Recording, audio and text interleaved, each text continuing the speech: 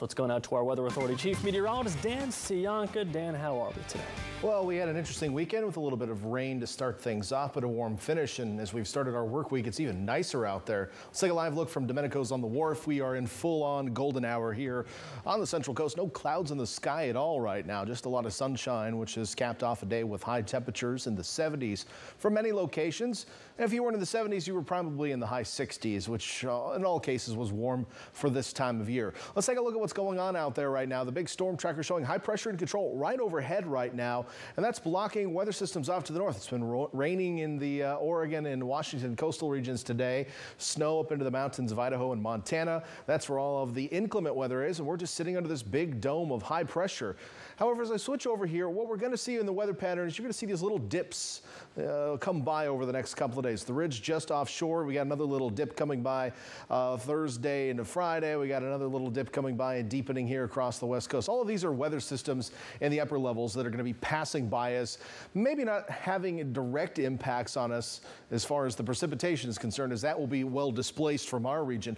With that said, though, it will be ushering in cooler air masses at the surface. So we've got a warm start to the week, but these air masses, these dense, cool air masses, are going to come in from the north over the course of the week. They'll come splashing through kind of like waves on the beach, and each one of them bringing some slightly cooler air and also some offshore winds. And they will get gusty over the hills at times over the next couple of days. So I'm expecting a little bit of wind, but we won't see much in the way of clouds over the next seven days. So this is Futurecast overnight tonight into tomorrow. It is showing a few passing high clouds out there as we wake up tomorrow morning. Should provide us a nice sunrise if you like colorful skies as the sun is rising tomorrow morning. But I'm not expecting any fog or anything out there. Things pretty calm as we wake up tomorrow morning.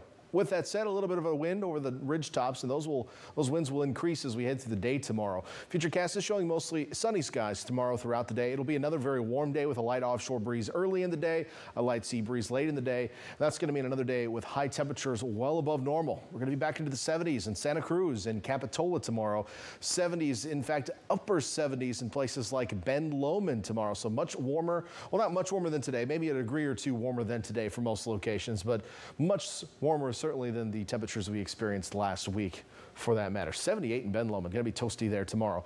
Well, Watsonville coming back at you in the mid 70s tomorrow. 78 in Salinas, 76 in Hollister, and even 70s back toward the Bay, Marina, Aptos.